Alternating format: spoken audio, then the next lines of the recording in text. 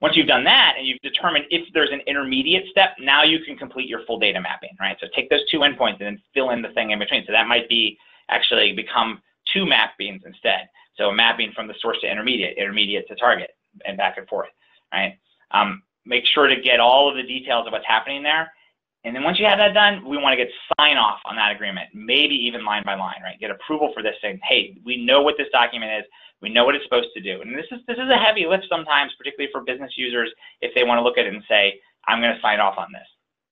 Now, the benefit of, of working with a company like us that provides the packaged integration is that we deliver this sort of pre-populated, all filled out thing, and you just have to validate it, right? It's all ready to go.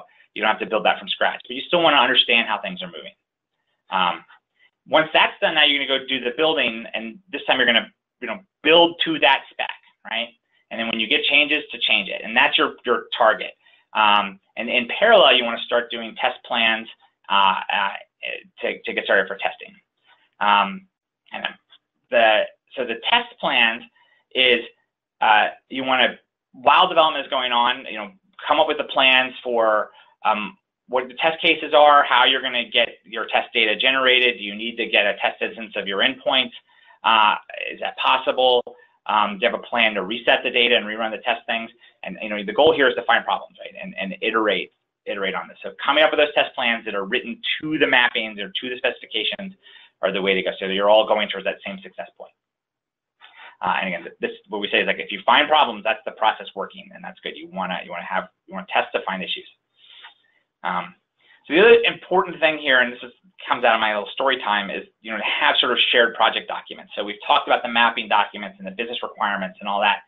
So you also want to create you know sort of testing statuses for all the test cases, as well as maybe a validating of all the mappings, uh, issue logging, issue resolution. If there's updates to the mapping or requirement updates, the ability to do that, and, and possibly a project plan and timeline, because oftentimes there's moving parts. So having all of those documents in some sort of you know living shared document resource is, is super helpful to this process. Um, and then knowing how people can make changes to those um, and and um, and be notified when there's issues. So ideally, you know, once all the test cases are approved, it, it should be ready to go live. If you're keeping up with that, right? There's no surprises. Um, so this is probably one of the big keys is to come up with a way to do this uh, effectively. Um, and we'll talk about some tool options in a second. Um, and once you have that done, then you, you put together a plan. So now you've finished your testing, you've moved to production, you know, have a plan for the notifications and monitoring.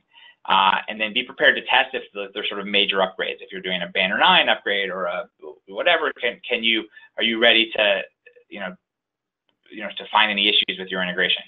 Um, and then make sure that the documentation that you've created, all these shared things are available uh, and, and accessible in some sort of knowledge base for the um, you know, whoever is going to be maintaining that. And if you leave, if you're the one who wrote it and you leave the institution, you don't want any mystery. Like there's all those details in that in that document.